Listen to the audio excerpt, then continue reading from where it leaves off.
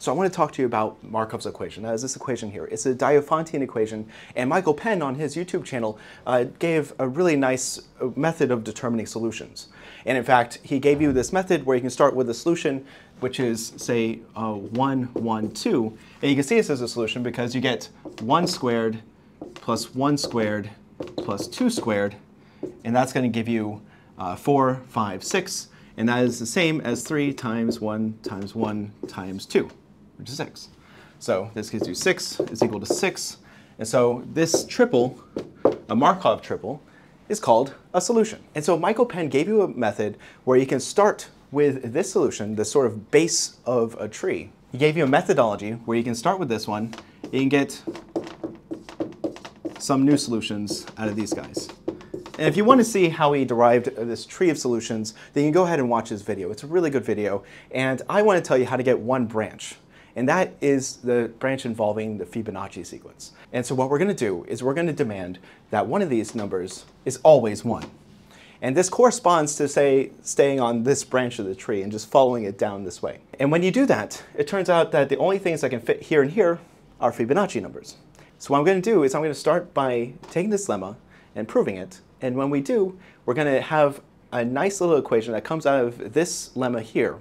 And this can be applied to solving Markov's equation when we choose z to be 1, say.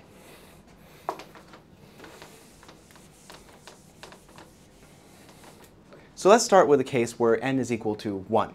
And that's going to be our base case. And so this is going to give us this. So we get 1, 1, 1, 0. And we know that 0 is, say, the zeroth Fibonacci number, if you like. It doesn't really matter where you start this, depending on your own tastes. And then we know that the second one is going to be 1, or rather f1 is 1. And once we have that, then we know that f of 0 plus f of 1 is equal to f of 2. And that is going to be 0 plus 1 is equal to 1. So f2 is 1. So I say that this is f0, this is f1, this is F1, and this one, you could call it F1, but I'm going to call it F2. So what we have shown is that for the base case, n equals 1, this lemma is true. So let's assume it's true for n is bigger than or equal to 1. So we're assuming the lemma is true for n bigger than or equal to 1. That basically means that 1, 1, 1, 0 to the nth power is equal to fn plus 1, fn, fn, and f naught. And so what I'm going to do is I'm going to multiply this matrix by 1, 1, 1, 0, and that gets me 1, 1, 1, 0 to the n plus first power. I'm going to do the same on the other side.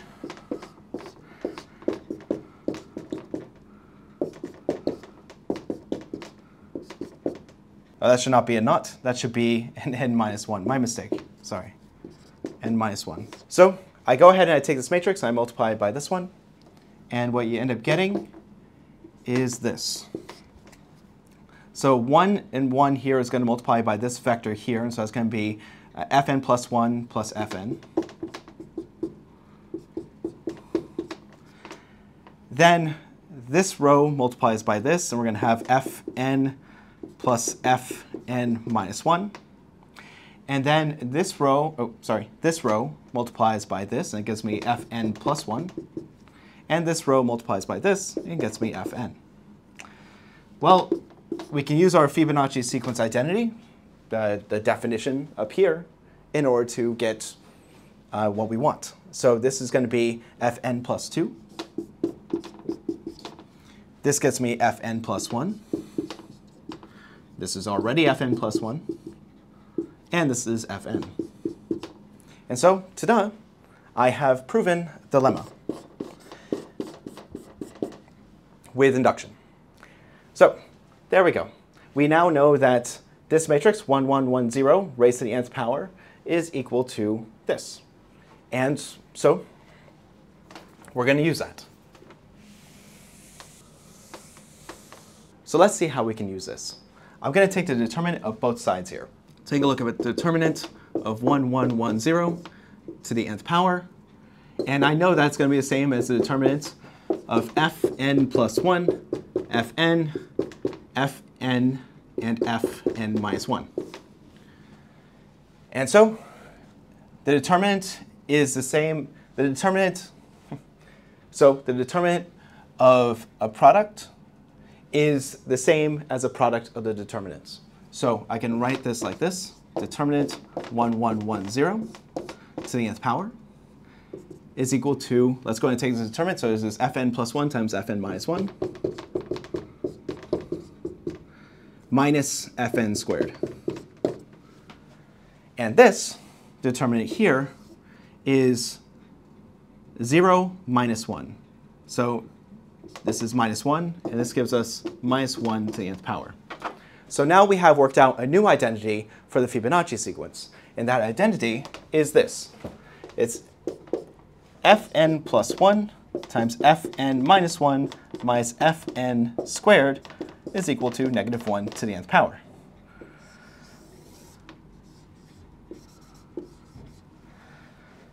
And so we're going to use this idea to solve Markov's equation. So let's go ahead and take a look. So I'm going to start with Markov's equation, and I'm going to rewrite it. So we get x squared plus y squared plus z squared is equal to 3xyz. I'm going to select z to be 1.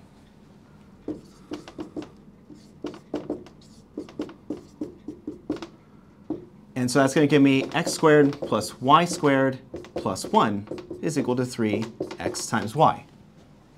Now I'm going to take two of these guys, I'm going to move them to the other side, and I'm going to move uh, the negative 1 over. And so I'm rewriting this equation, and I'm going to get x squared plus y squared minus 2xy is equal to xy minus 1.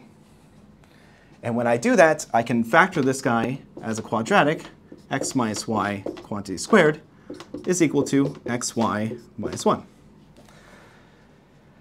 So what I'm going to do is I'm going to show that when I select, we're going to set x to be fn plus 1, and I'm going to set y is equal to fn minus 1.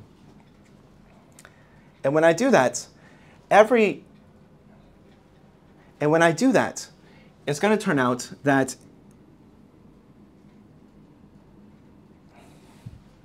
and when I do that, what's going to happen is it's going to turn out that it, for every other, uh, and so now let me go ahead and put these two guys into my equation. I'm going to start on the left, and I'm going to show that we're going to end up getting the right.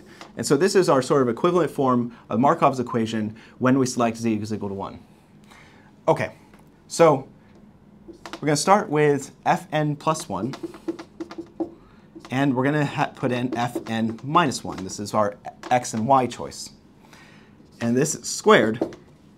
And what I'm going to see is that this fn plus 1 turns into fn plus fn minus 1. And so that's going to leave me, after a subtraction here, with just fn on the inside. And we're seeing that is squared. So what we're going to do here is we're going to take this and we're going to go ahead and rearrange it. And this rearrangement is pretty simple. It's going to give us fn plus 1 times fn minus 1 minus negative 1 to the nth power. And that is equal to fn squared. And so now we're going to take this fn squared and I'm going to replace it with this equation. And so that gets us fn plus 1 times fn minus 1 minus negative 1 to the n. Okay, so we're practically there. Remember, this was our x, and this is our y.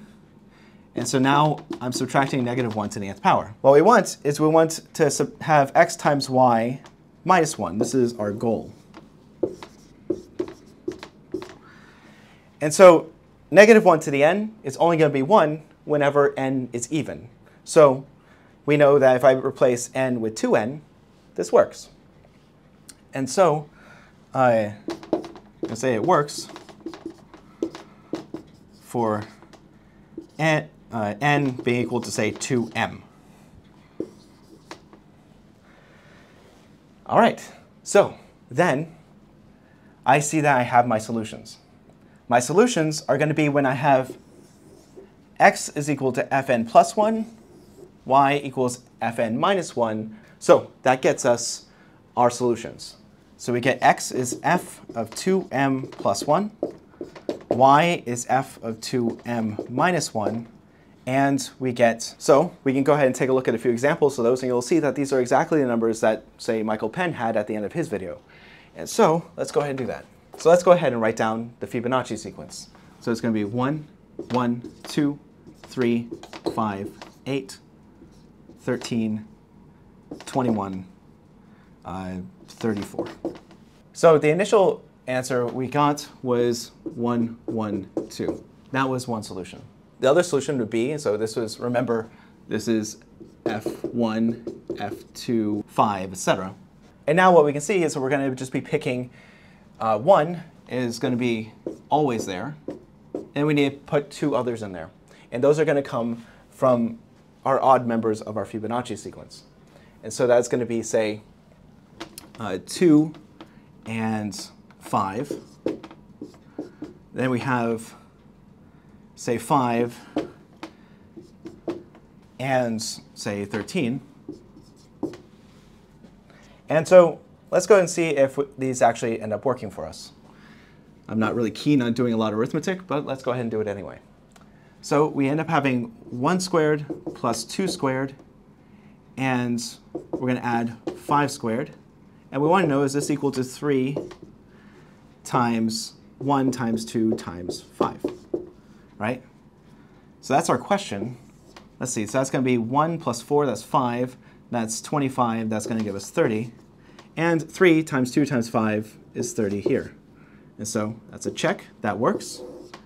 And now let's take a look at this one, uh, 1, 5, and 13. And so what we're going to have is we have 1 squared plus 5 squared plus 13 squared. And so that's should be equal to 3 times 1 times 5 times 13. And so, again, that's our question. And so then we have 25 plus 1, and so that's going to be 26 plus 169. And so we would like that to be equal to uh, 15 times 13. And let's see, so uh, oh, 6 so 9 is going to give us 5. Uh, that's 8, 9. And so that's 1 there. And so we are wondering, is this equal to 15 times 13? And we can work that out really quick. 15 times 13. And so that's going to give us uh, 5, 1, 3, uh, 4, 45. And then that gets us uh, 0, 5, 1. And that gets us 195. 195 there. And that's a check. And so we see that we have now found a whole family of solutions, an infinite family of solutions to this Markov's equation, where we set z is equal to 1, and we look at x and y being consecutive Fibonacci members uh, that are of odd index. So the first time I saw Markov's equation here was when I was in graduate school, and that was years ago. And we went through the same sort of spiel that Michael Penn did. I always thought that this was a really clever approach to the problem, and, and I cooked it up while I was a graduate student, but I've never really had an occasion to tell anybody about it. So Michael Penn's video gave me a chance to, to give it a try.